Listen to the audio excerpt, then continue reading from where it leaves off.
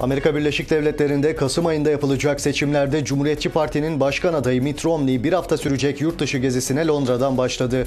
Olimpiyat oyunlarının açılış törenine katılacak olan eski Massachusetts valisi Romney, İngiltere Başbakanı David Cameron'la bir araya gelecek. Romney daha sonra Polonya ve İsrail'i ziyaret edecek.